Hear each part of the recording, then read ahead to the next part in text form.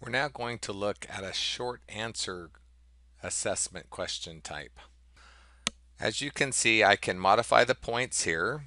So I know that I'm going to have two blanks in this short answer. So I'm going to give two points and I'm going to allow partial credit. So if they get one blank right, and I'm going to round down, they'll get half of the points. So they'll get one point for each blank. You also have a series of options here regarding the answer. So you could be case insensitive, it could be a numeric with significant values, regular expression.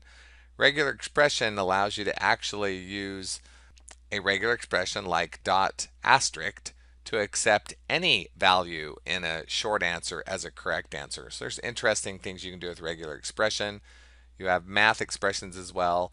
But in this case, we're going to have multiple correct answers and we're going to show the correct answer. So we're going to turn on a couple of these options.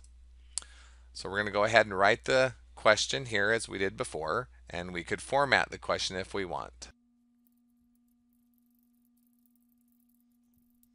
So now that we have the question with two short answer fill in the blanks, the first answer we can choose the correct answers. So in this case, we would accept warm. I can hit enter to set the first question or hot and hit enter. And both of those are, are valid. If I wanted to split my points up, I could, but either one of these are going to be worth one point. So I can set that up. Now, if I hit enter again, it's going to go to the second fill in the blank, which in this case, breathe through their lungs is the only right answer. And so we're good to go there. So now we could preview the question.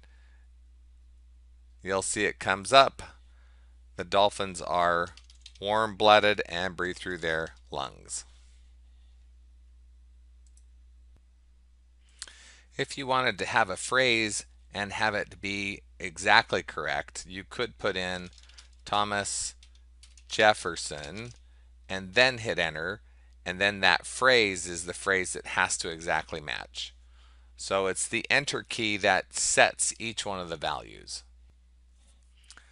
To set the questions, simply click on the left hand side. You can now go between the questions. You can drag questions if they're not aligned appropriately to different outcomes. We're now ready to add a new question.